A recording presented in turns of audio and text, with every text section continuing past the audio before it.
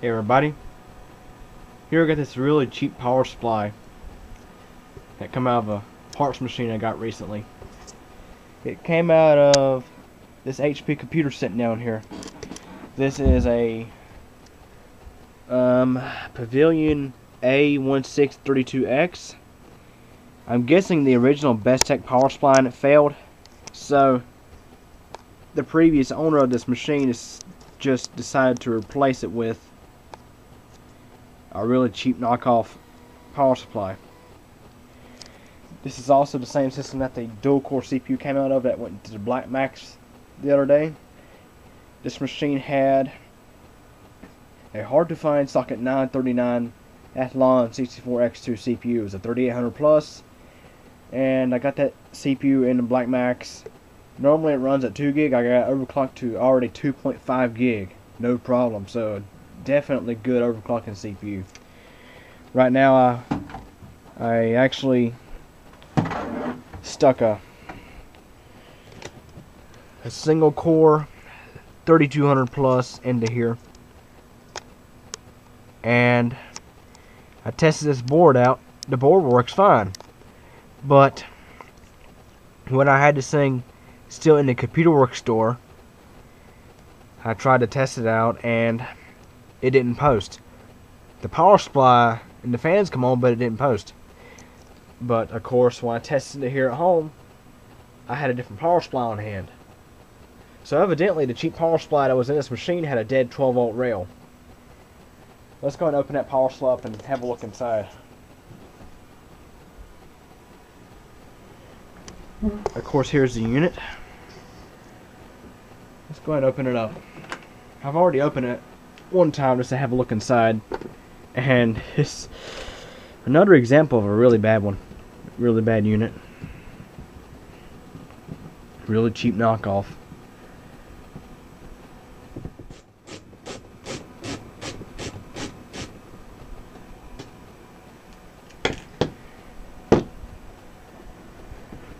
Which by the way here is the specs on this unit it is a ChiefMax 450 watt power supply. This sucker couldn't even put out 450 watts on a good day. And it's rated for 28 amps on the 3.3 volt rail, 30 amps on the 5 volt rail, 28 amps on the 12 volt rail. Has 1 amp on minus 12 and 1 amp on minus 5, so obviously there you can tell it's using an old ATX specification because minus 5 volt is no longer included in the modern units nowadays. And our 5 volt standby rail is 2 amps. This is nothing but a big lie guys. Remember, this power supply could probably only put out maybe 250 watts on a good day.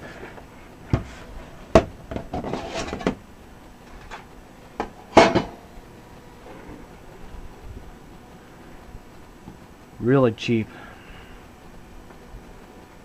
Heat sinks were kind of thin. They're okay, but they're a bit on the thin side. It does have two filtering chokes on the output. That's actually kind of surprising. It's not as bad as some I've seen, but it's not really all that well either. It has only one blue capacitor going to ground. That's the back over here. It's right there. And as you can see here, our filter choke's bypassed. No extra Y capacitor were installed here. The next capacitor would normally go here, but that was never installed, and even a resist even a resistor could be installed there. That was never done. Of course, that's to cut cost. And notice the size of the transformers in this unit. This unit has two, a blue one and a red one. Let's set this thing down and have a look here. Notice the transformer at the back, how small it is. Really, really small. Not that impressive. Not that impressive at all. Good close look here. There's the other transformer. Get a good focus. You notice here, they have four diodes where they should have a rectifier bridge. This is only a minor issue because usually the cheap power supplies don't actually fail here. They actually fail in the this area. The transistor is located under this big heatsink. this is where I see a bunch of them fail, especially on videos on YouTube, where they have the units open when they're testing these units on a active automated load. This is usually where these power supplies will blow up. It's right in this area. And which even when they don't blow up, they're still not very healthy for your computer. Considering that there's no filtering whatsoever on these things. Or not much on the input, at least.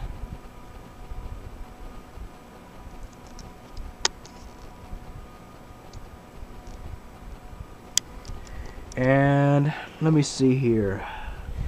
I was having a look here. And notice here, this is this is why I believe the 12 volt rail is dead on this unit. I haven't plugged this power supply in since I got it home, but I did attempt to try it out when I was still in the computer work store. In which I'm not sure, maybe it's a different rail. I, I'm not exactly sure because the fan did work. The cooling fan did come on. So maybe it's a 5 volt rail or something. Something's damaged here for sure. Look at the look how black that spot on the heatsink is. Something has definitely been hot. And the tip of the screw, let me see, right there looks a little discolored. I'm not exactly sure how this unit failed. It may still work, but not like I'm going to use it. Even the fan they skimped out on. The fan is junk. I mean, with some 3-in-1 oil it'll be fixed, but still though, it's sad.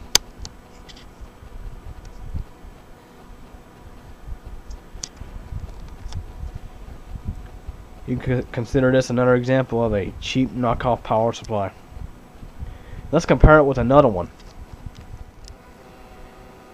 Here's the ChiefMax power supply.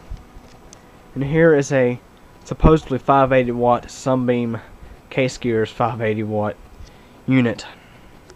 Which both these couldn't even put out their rated outputs on a good day.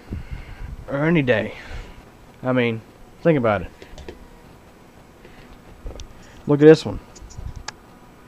I mean, it's similar to it's got filtering components bypassed. At least they did put some capacitors on this one. That's surprising. And here they actually did a good design with this one diode. They actually spaced it out from the rest of everything because this diode does get quite hot. And we have a single output filter choke on this one. And Here's the transformers in this one. Look how much bigger the transformers in this one are compared to this one. It's ridiculous. At least this one has better heat sinks and better transformers. And of course, here's our primary capacitors. No MOVs, of course. They never they never put MOVs in cheap power supplies like this. Let alone the rest of the stuff they bypass.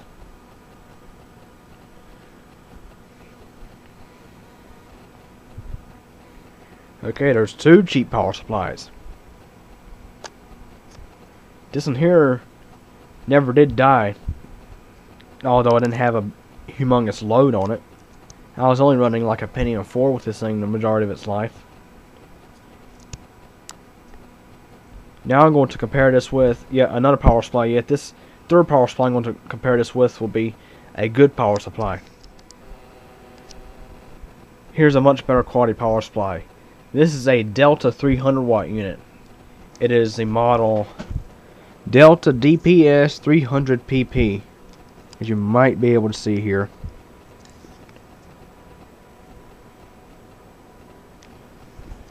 Let's have a look at this thing, how much better quality it is. We have all our filtering components in place. We have these big, humongous primary filter chokes here three of them. We have our X capacitor here. We have our Y capacitor installed. We have two of them here. Here's our rectifier bridge. And even on the plug they have a filtering setup here. We have some more Y capacitors directly on the plug and we have a ferrite core here with some wires wrapped around it. This power supply even has rheostats installed and I believe these are to adjust the output voltages by a little bit. And here's a look at the primary capacitors. And we have MOVs installed on the inner side here and there's another filtering choke.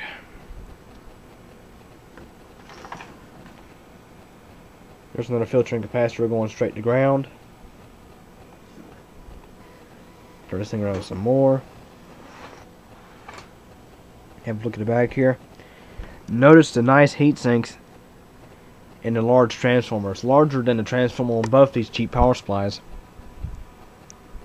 Yet the cheap power supplies are ready to put up more more power. Does that make sense or what? It doesn't. Anyways. I mean, look at the quality here. This is, I think all power supplies should be built like this. If not better, in some cases. Nice, humongous chokes on the output side. And here is our sensor for the fan. Yeah, this power supply has a sensor to control the speed of the fan. A lot of cheap power supplies don't even have that. They just run the fan straight off the 12 volt rail. And here's our output capacitors. Not like exactly sure what brand they use here, but they seem to be holding up pretty well. This power supply was pulled from a 2005 eMachines. All they do is recase it into a different power supply case and it'll be just fine.